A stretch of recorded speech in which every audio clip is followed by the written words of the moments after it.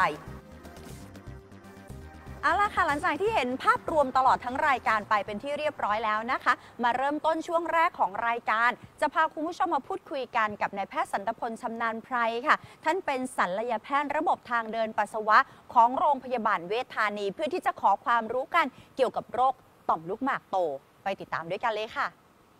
สวัสดีค่ะคุณหมอคะสวัสดีครับครับผมครับคุณหมอคะต่อมลูกหมากโตเกิดจากอะไรเหรอคะเอ่อต่อมลูกหมากโตนี่จริง ๆ ผมอธิบายนิดนึง คือปกติต่อมลูกหมากนี่มันเป็นอวัยวะของผู้ชาย อ่าผู้ชายทุกท่านมีหมด ค่ะ แต่ว่าต่อมลูกหมากโตเนี่ยถ้านึกถึงง่าย ๆนะครับ เป็นอ่าเป็น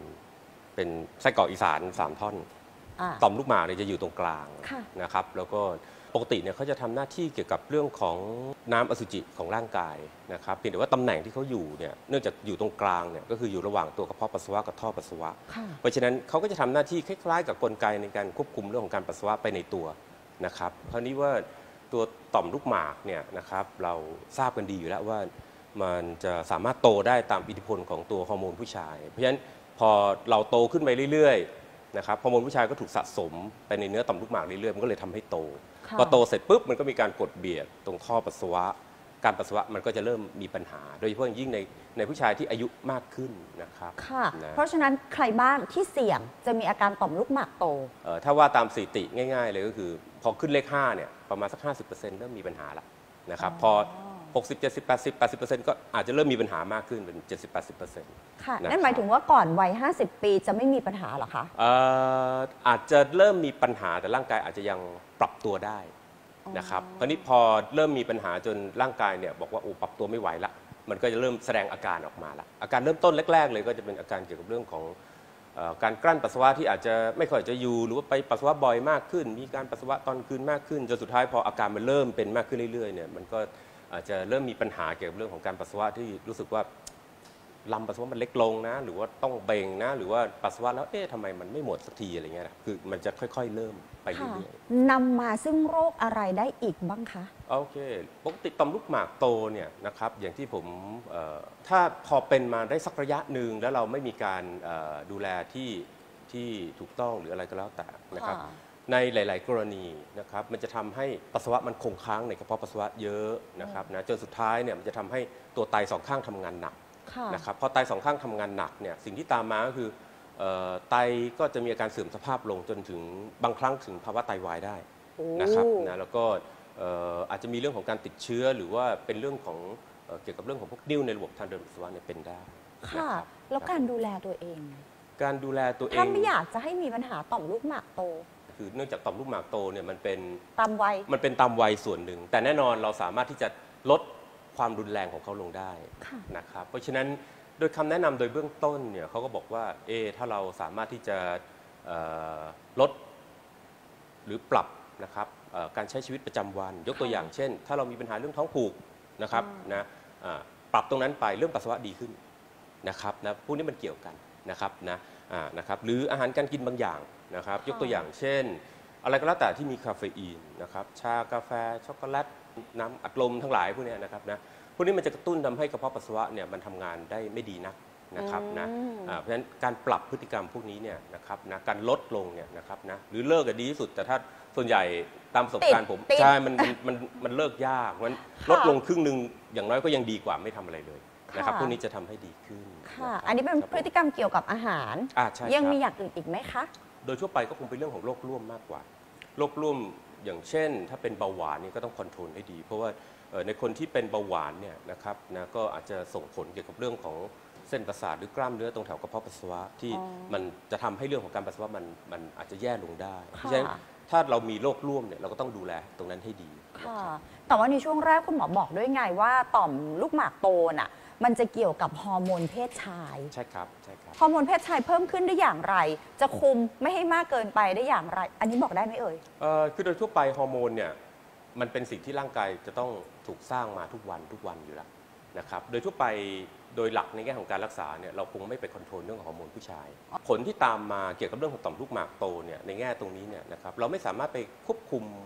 เขาได้แบบตรงค่ะๆแต่ว่าเราสามารถเอ่อปรับเรื่องของพฤติกรรมที่อาจจะทำให้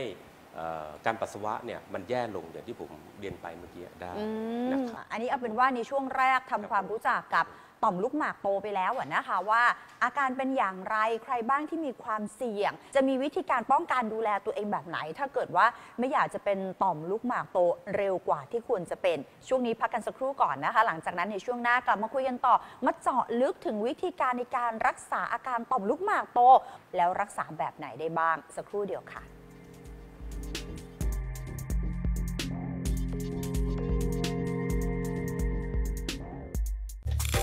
เข้าถึงทุกสาระสุขภาพ เสริมภูมิคุ้มกันรู้ทันโรค TNN Health ช่องทางออนไลน์ Facebook TikTok YouTube และเป็นเพื่อนกับเราผ่านทางแอปพลิเคชัน Line at TNN Health รวมทั้งรับชมผ่านทางรายการ TNN Health ทุกวันเสาร์และรายการสุขหยุดโรคทุกวันอาทิตย์ เวลา 15 นาฬิกาถึง 15 นาฬิกา 30 นาที ดีๆ ทั่วไทยพบกับดี้อันทิยา ที่จะพาไปชมอาชีพสุดปังทำแล้วรวย ชี้เป้าของดีของเด็ด จัดเต็มสถานที่ท่องเที่ยว และวัฒนธรรมทั่วไทย รวมสุดยอดคนดี ต้นแบบเพื่อสังคม พบกันทุกวันจันทร์ถึงศุกร์9โมงเช้า วันเสาร์อาทิตย์ 10โมงครึ่งทาง TNN ช่อง 16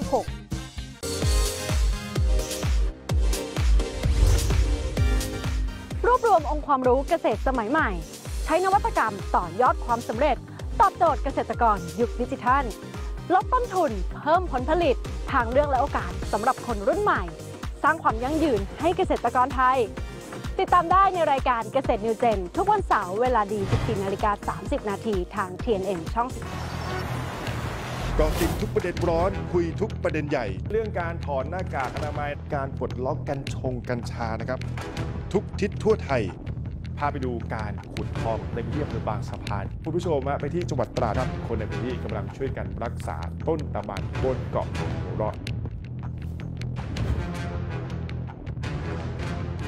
ทุกวันจันทร์ถึงศุกร์เวลา 17นาฬิกา30 นาทีถึง 18นาฬิกาติดตามได้ใน TNN ประเด็นใหญ่กับผมชาติพัฒนกุลการกิจ แล้วคุณจะไม่พลาดทุกข่าวสาร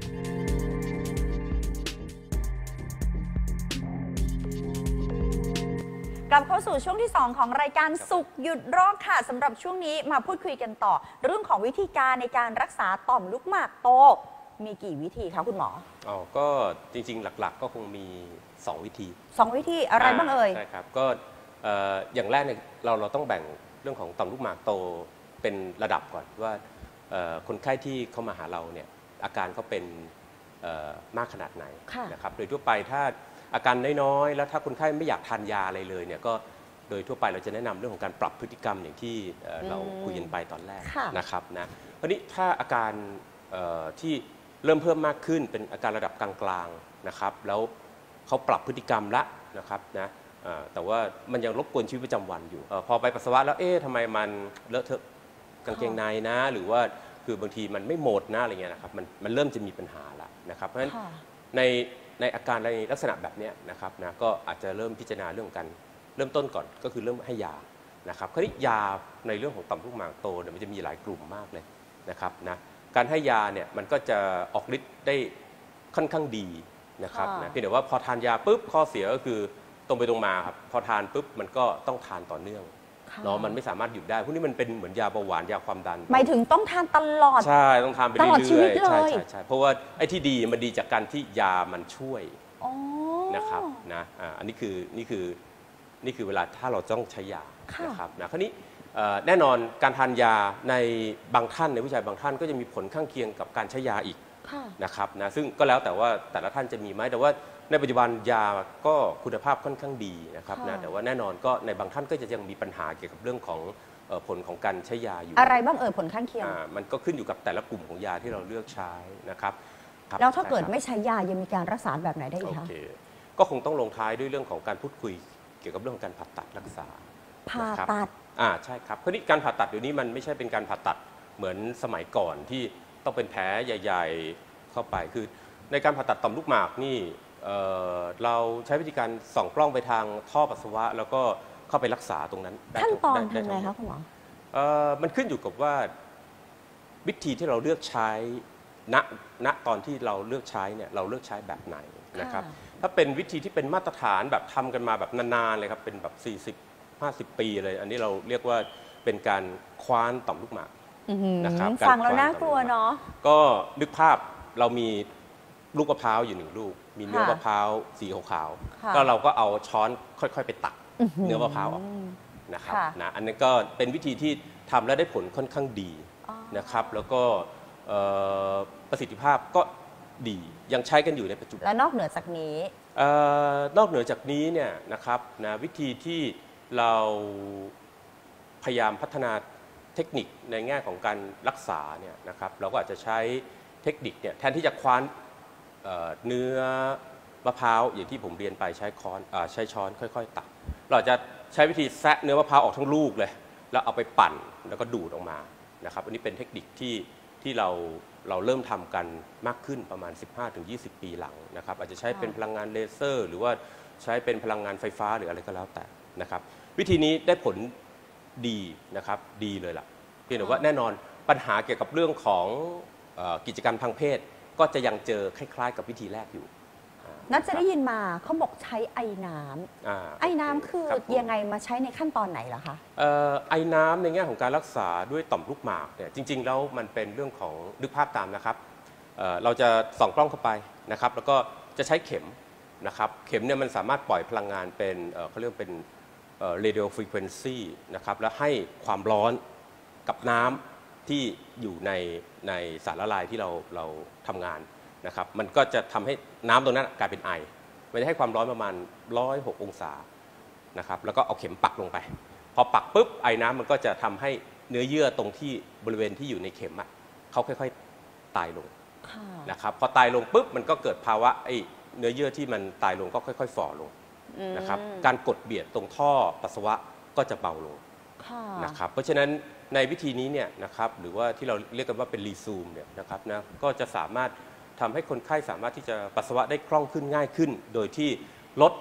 นะครับหรือเรียกว่าเอ่อโอกาสเกิดเกี่ยวเกี่ยวกับเรื่องของปัญหาเกี่ยวกับเรื่องของพวกสมรรถภาพทางเพศเนี่ยน้อยลงแบบมากๆ ถ้าเทียบกับวิธีมาตรฐานค่ะนะครับค่ะครับผมถ้าเกิดผ่าตัดไม่ต้องทานยา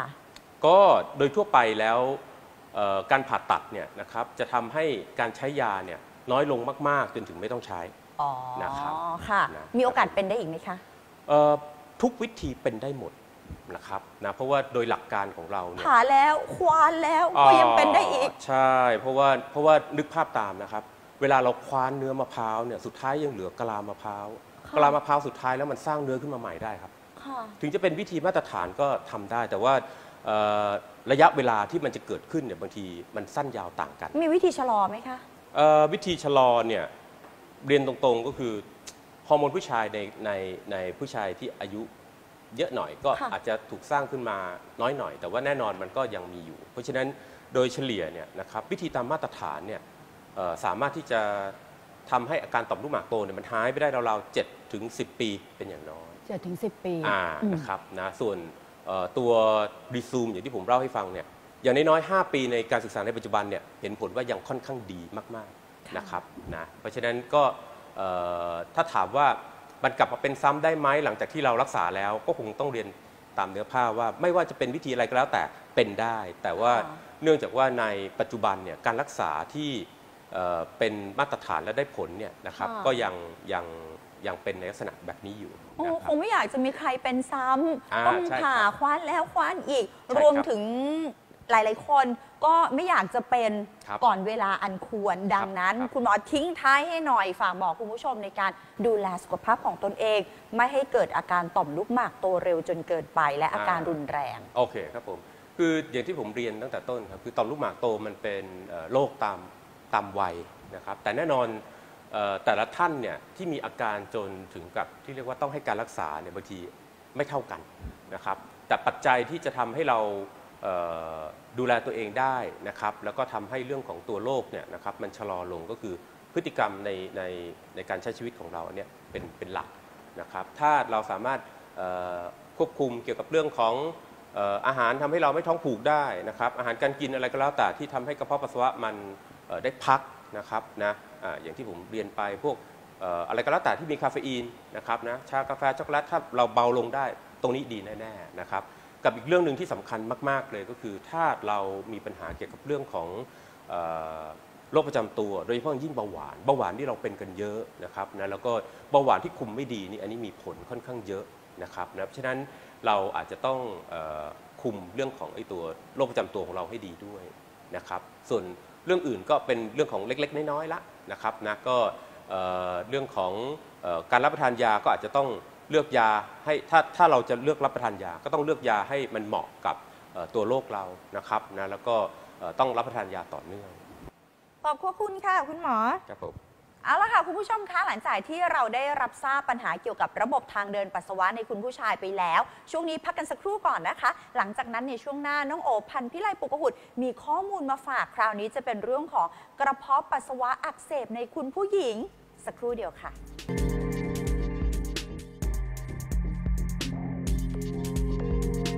กลับเข้าสู่ช่วงสุดท้ายของรายการสุขหยุดโรคค่ะสำหรับช่วงนี้นะคะจะพาคุณผู้ชมมาติดตามเรื่องของ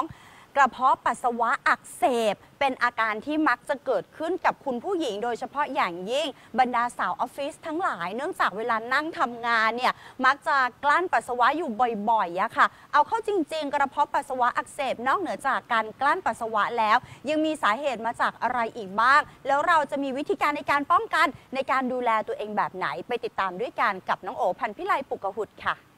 คุณหมอสวัสดีค่ะ ค่ะ สวัสดีค่ะคุณโอคุณหมอค่ะวันนี้อยากจะมาขอความรู้เกี่ยวกับเรื่องของโรคกระเพาะปัสสาวะอักเสบค่ะ ผู้หญิงหลายคนเป็นค่ะ คุณหมอ เพราะว่าอาจจะอั้นฉี่เอาไว้ไม่ยอมไปเข้าห้องน้ำแบบนั่งทำงานแล้วไม่อยากลุกอย่างเงี้ยคุณหมอ แล้วสาเหตุหลักๆอะค่ะกระเพาะปัสสาวะอักเสบเกิดขึ้นจากอะไรอะคะเอ่อกระเพาะปัสสาวะอักเสบก็คือการอักเสบของกระเพาะทางเดินปัสสาวะนะคะค่ะจริงๆแล้วก็มันมีเอ่อหลายตำแหน่งด้วยกันไม่ว่าจะเป็นกระเพาะปัสสาวะท่อปัสสาวะหรือว่าบริเวณ ไตนะคะค่ะก็อาการของกระเพาะปัสสาวะอักเสบเนี่ยส่วนใหญ่ผู้หญิงก็จะเริ่มรู้สึกว่าโอ้ยรู้สึกว่าต้องรีบไปปัสสาวะหรือว่าค่ะปัสสาวะบ่อยขึ้น มีปัสสาวะแสบขัดนะคะค่ะซึ่งอาการเหล่านี้เนี่ยส่วนใหญ่แล้วเนี่ยเกิดจากการติดเชื้อแบคทีเรีย ซึ่งค่ะพบได้บ่อยอยู่แล้วค่ะ เพราะว่าท่อปัสสาวะของผู้หญิงเราเนี่ยสั้นกว่าของผู้ชายเนาะค่ะนะคะ แล้วก็เชื้อแบคทีเรียที่พบได้บ่อยๆเลยก็คือเชื้อแบคทีเรียที่มาจากลำไส้นะคะ ค่ะ ก็จะเป็นเชื้ออีโคไลที่พบได้บ่อยมากค่ะค่ะ แล้วสาเหตุหลักๆ ในการเกิดอาการของกระเพาะปัสสาวะอักเสบค่ะคุณหมอมันเกิดขึ้นจากอะไรอะคะนอกจากอั้นฉี่แล้วแล้วอยู่ดีมันเกิดขึ้นได้เลยไหมคะหมออ๋อจริงๆแล้วหลายปัจจัยนะคะค่ะอันดับแรกก็คือการอ่าพฤติกรรมบางอย่างค่ะอย่างเช่น การกลั้นปัสสาวะนานค่ะๆนะคะ เหมือนกับน้ำมันขังอยู่ในบ่อนานๆ เราไม่ได้ระบายออก มันก็ค่ะมีโอกาสที่แบคทีเรียจะเจริญเติบโตได้นะคะ เพราะฉะนั้นเนี่ย ก็จะเพิ่มความเสี่ยงของการติดเชื้อทางเดินกระเพาะปัสสาวะค่ะอันที่สองก็คือเอ่อมีความผิดปกติบางอย่างในระบบทางเดินปัสสาวะนะคะ ไม่ว่าจะเป็นมีก้อนเป็นนิ่วนะคะ ต่างๆเหล่านี้ก็สามารถที่จะทำให้เกิดติดเชื้อทางเดินปัสสาวะได้ค่ะหรือในบางรายเคยทำหัตถการค่ะหรือว่าเพิ่งไปทำหัตถการบางอย่างมาบริเวณนี้นะคะค่ะไม่ว่าจะเป็นแถวบริเวณช่องคลอดหรือบริเวณเอ่อท่อปัสสาวะ ก็อาจจะมีความเสี่ยง เพิ่มขึ้นในการติดเชื้อทางเดินปัสสาวะหรือว่าเพิ่งจะไปผ่าตัดมาเร็วๆนี้นะคะ ส่วนในบางกลุ่มอายุอย่างเช่น ถ้าในคนไข้ที่อายุมากขึ้นค่ะนะคะผู้หญิงที่เข้าสู่วัยทองแล้ว อันนี้ก็จะมีปัจจัยส่งเสริม เช่นอ่าช่องคลอดเนี่ยแห้งลงจากการค่ะที่เราขาดฮอร์โมนเอสโตรเจนอันเนี้ยก็อาจจะมีผลทำให้เกิดติดเชื้อทางเดินปัสสาวะเป็นเป็นหายๆได้เพิ่มขึ้นค่ะค่ะ คุณหมอคะเราผู้ชายเป็นได้หรือเปล่าคะผู้ชายก็เป็นได้ค่ะ แต่ของค่ะผู้ชายเนี่ย โอกาสจะเป็นค่อนข้างต่ำกว่าค่ะส่วนใหญ่ถ้าเป็นแล้วเนี่ยก็ต้องหาสาเหตุค่ะ ก็น่าจะมีปัญหาเกี่ยวกับเรื่องเอ่อมีรอยโรคบางอย่างนะคะ หรือว่าติดเชื้อบางชนิด เช่นโรคติดต่อทางเพศสัมพันธ์ค่ะนะคะ อันนี้ผู้หญิงก็เป็นได้ค่ะโรคติดต่อทางเพศสัมพันธ์ค่ะพวกนี้เนี่ยอาจจะมีอาการเช่นมีหนองไหลออกมาจากท่อปัสสาวะร่วมด้วยนะคะค่ะหรือว่ามีแบบปวดท้องน้อยร่วมด้วย พวกนี้อาจจะต้องแบบคิดถึงมากหน่อยค่ะ ในช่วงแรกก่อนหน้านี้คุณหมอได้บอกถึงอาการของกระเพาะปัสสาวะอักเสบไปแล้วค่ะอยากให้คุณหมอเน้นย้ำอีกสักครั้งค่ะ ว่าอาการของโรคนี้ค่ะมีลักษณะอะไรนะคะที่เด่นชัดค่ะ ก็ส่วนใหญ่ก็คือจะเริ่มรู้สึกว่าแบบไม่สะดวกสบายเวลาไปเข้าห้องน้ำนะคะ รู้สึกว่าแบบเออรู้สึกแบบปัสสาวะขาดนิดนึงนะคะค่ะหรือว่าแบบมีอาการปวดท้องร่วมด้วยค่ะเวลาเราเริ่มปัสสาวะนะคะ ปัสสาวะอาจจะรู้สึกว่าไม่สุกดีนะคะ แบบมีความมีภาวะที่ปัสสาวะบ่อยขึ้น หรือว่าค่ะปัสสาวะออกไม่ได้ไม่เยอะนะคะค่ะต้องเร่งรีบไปเข้าห้องน้ำค่ะนคแล้วจะรู้สึกในบางรายที่ค่ะอาการมันเป็นเยอะขึ้นอะนะคะค่ะก็อาจจะมีไข้ได้ค่ะนะคะ อันนี้ต้องระวังว่าอาจจะขึ้นลามขึ้นไปบริเวณไตแล้วค่ะเหมือนกับว่าถ้าเกิดแบบว่าเหมือนปวดฉี่ตลอดเวลาไหมคะหมอเข้าห้องน้ำแล้วใช่ฉี่ไม่ออกอะไรประมาณนี้ใช่ไหมคะใช่ค่ะ ก็รู้สึกว่าแบบเออไปเข้าห้องน้ำแล้วก็ยังรู้สึกว่าต้องอยากไปอีกอะไรอย่างเงี้ยนะคะคุณหมอคะแล้วถ้าเกิดการรักษาในเบื้องต้นล่ะคะ ต้องทำยังไงอะคะ ค่ะ ก็เอ่อติดเชื้อทางเดินปัสสาวะ หรือว่ากับบริเวณกระเพาะปัสสาวะเนี่ยค่ะมันอาจจะหายเองได้นะคะค่ะถ้าเราดื่มน้ำปริมาณที่มากพอนะคะ แต่ว่าถ้าผ่านไปแล้ววันสองวันไม่ดีขึ้นเลยก็แนะนำว่ามาพบแพทย์ค่ะว่าเพราะว่าควรที่จะได้รับยาปฏิชีวนะค่ะค่ะคุณหมอคะแสดงว่าถ้าเกิดเรามีอาการแบบว่าเอ่อของกระเพาะปัสสาวะอักเสบให้ดื่มน้ำเยอะๆแล้วก็เข้าห้องน้ำอย่างเงี้ยก็จะหายไปเองมันเหมือนกับว่าน้ำมันขับเชื้อแบคทีเรียหรือว่ายังไงอะคะหมอ ใช่ค่ะก็คือจะช่วยได้นะคะค่ะแล้วก็ส่วนหนึ่งคือร่างกายเราเนี่ยก็มีเขาเรียกว่ามี defense mechanism อยู่หมายถึงว่าคอยมีส่วนที่คอยปกป้องร่างกายเราไม่ให้เชื้อแบคทีเรียอื่นๆเข้ามาได้มีเม็ดเลือดขาวอะไรอย่างเงี้ยนะคะ ก็มันก็จะสามารถที่จะช่วยได้ระดับหนึ่ง แต่ว่าถ้าเกิดสมมติว่าเชื้อมันรุนแรงมาก โดยที่ร่างกายเราเอ่อระบบภูมิคุ้มกันของเราไม่สามารถปกป้องเราได้ แล้วก็อาจจะต้องใช้ยาช่วยค่ะ คุณหมอคะแล้วก็เพาะปัสสาวะอักเสบนี้ถ้าเกิดอาการรุนแรงอะค่ะ มันมีเป็นฉี่เป็นเลือดหรือว่าไม่ได้เกี่ยวกันนะคะหมอเป็นได้ค่ะ ในบางรายนะคะ ถ้าสมมติว่าอาการมันเป็นมากขึ้น ก็อาจจะมีปัสสาวะเป็นเลือดได้ มีเจ็บเอวค่ะนะคะ แล้วก็อาจจะมีไข้ได้ค่ะค่ะค่ะ อย่างอย่างอย่างพี่สาวอะเคยเป็นค่ะคุณหมอแบบว่าต้องเข้าโรงพยาบาลเลยเพราะเป็นไข้หนาวสั่นอย่างเงี้ยค่ะ มันเป็นอาการใช่ในอันนี้ช่วงก็แสดงว่ามันลามขึ้นไปบริเวณไตค่ะค่ะ แล้วก็ในผู้สูงอายุอาจจะต้องระวังนิดนึงการค่ะติดเชื้อทางเดินปัสสาวะอาจจะทำให้มีติดเชื้อเข้าสู่เอ่อกระแสเลือดได้นะคะค่ะอ่าเพราะฉะนั้นเนี่ยถ้ามีติดเชื้อทางเดินปัสสาวะก็แนะนำว่าให้มาพบแพทย์นะคะค่ะซีเรียสเลยนะคะหมอถ้าเกิดติดเชื้อในกระแสเลือด ใช่คือคือถ้าเป็นคนสูงอายุเนี่ยต้องระวังมากๆค่ะ ถ้าเป็นค่ะนี่แนะนำว่าให้รีบมาเลยค่ะค่ะ แต่ว่าถ้าเกิดเรารักษาเองไม่หายแล้วมีอาการมากเข้าไปหาคุณหมอคุณหมอจะรักษายังไงอะคะส่วนใหญ่เราก็จะต้องตรวจเพื่อยืนยันการวินิจฉัยของเราก่อนนะคะค่ะก็จะมีการตรวจเอ่อปัสสาวะดูค่ะว่าเอ่อมีเม็ดเลือดขาวเม็ดเลือดแดงอะไรเยอะหรือเปล่านะคะ แล้วก็อาจจะมีการนำไปเพาะเชื้อนะคะ ถ้าเผื่อว่าเราอาจจะเคยได้รับยาปฏิชีวเอ่อ ปฏิชีวนะมาบ้างค่ะเช่น อาจจะไปซื้อยาทานเองอะไรอย่างเงี้ยนะคะ ก็เพื่อที่จะเอ่อวินิจฉัยให้ได้ว่าติดเชื้ออะไร แล้วก็มีเชื้อด้วยยาหรือเปล่านะคะคุณหมจะอได้สั่งยาได้ถูกตามที่เอ่อเชื้อที่เป็นอ๋อคุณหมอก็จะให้ยาตามตามเชื้อมันจะได้รักษาได้แบบว่าใช่ตรงใช่ไหมคะถูคุกณต้หองมอค่ะค่ะคุณหมอคะอีกหนึ่งเรื่องที่สงสัยค่ะ การเข้าห้องน้ำถ้าเกิดโถส้วมไม่สะอาดอย่างนี้มันมีโอความเสี่ยงที่เราจะติดเชื้ออะไรเข้าไปได้ไหมคะหมอ ก็มีโอกาสบ้างค่ะ อันนี้ก็อาจจะมีติดเชื้ออื่น ๆ ที่เกิดจากการคอนแทคนะคะค่ะก็แนะนำว่าถ้าเป็นไปได้ แนะนำว่าเราพกสเปรย์แอลกอฮอล์กันอยู่แล้วค่ะเนาะอาจจะพ่นที่บริเวณอะอะโถรองนั่งปัสสาวะก่อนนะคะค่ะค่ะแล้วค่อยนั่งค่ะคุณหมอคะแล้วสุดท้ายค่ะอยากให้คุณหมอบอกวิธีการในการป้องกันค่ะ ไม่ให้เราเกิดอาการของโรคกระเพาะปัสสาวะอักเสบค่ะคุณหมอค่ะอันดับแรกนะคะก็คือ พยายามอย่ากลั้นปัสสาวะนานนะคะ ถ้าเกิดเรารู้ตัวว่าเราเออจะต้องเดินทางหรืออะไรเงี้ยนะคะเผื่อเผื่อว่าช่วงนี้แบบฝนตกรถติดน้ำท่วมอะไรเงี้ยค่ะก็อาจจะต้องเข้าห้องน้ำก่อนนิดนึงนะคะค่ะก่อนที่เราจะออกเดินทางเพื่อที่จะได้ไม่ต้องกลั้นปัสสาวะได้นานนะคะค่ะอันที่สองในผู้หญิงเรานะคะ ถ้ามีเพศสัมพันธ์แนะนำว่าค่ะหลังมีเพศสัมพันธ์นี่ควรจะไปเข้าห้องน้ำนะคะค่ะควรที่จะอ่าปัสสาวะทิ้งนะคะค่ะเพราะว่าการที่เราไม่ปัสสาวะมันมีโอกาสเพิ่มที่จะ เพิ่มความเสี่ยงของติดเชื้อทางเดินปัสสาวะได้ค่ะนะคะค่ะอันที่สามก็คือในการรักษาความสะอาดนะคะค่ะก็แนะนำว่าเวลาเช็ด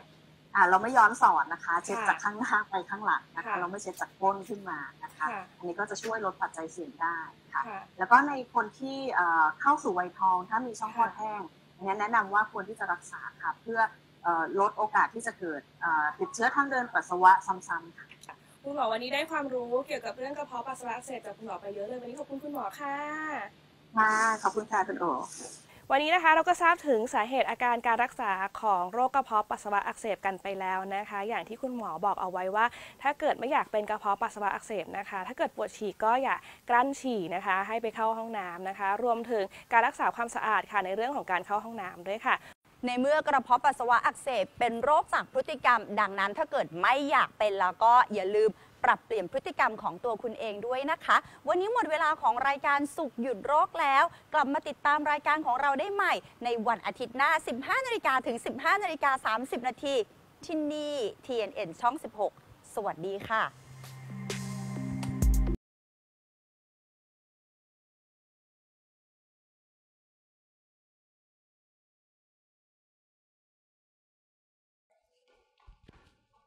ถ้าไม่อยากพลาดสาระดีๆ ของโรงพยาบาลเวชธานี อย่าลืมกดไลค์ กดแชร์ กด Subscribe ด้านล่าง และกดกระดิ่งพวกเราด้วยนะคะ